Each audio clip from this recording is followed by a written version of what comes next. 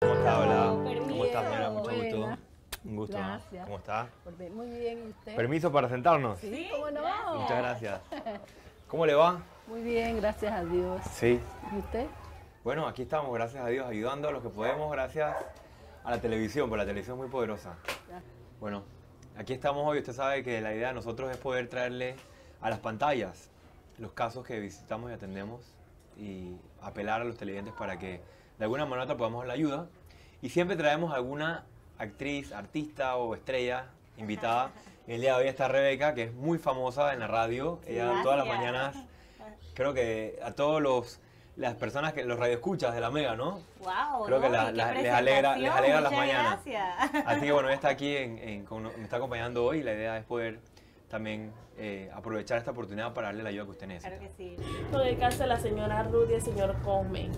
Ellos tienen 28 años ya de casados. El señor Cosme hace 10 años le dio un derrame cerebral. Él está en cama desde ese tiempo.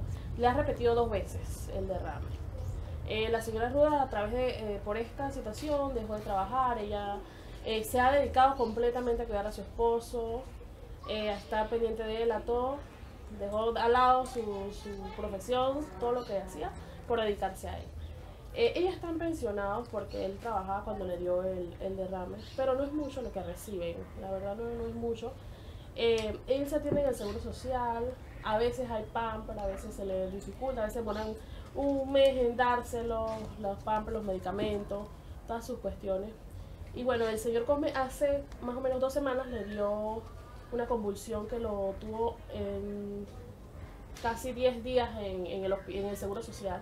Estuvo muy grave, estuvo muy, muy grave.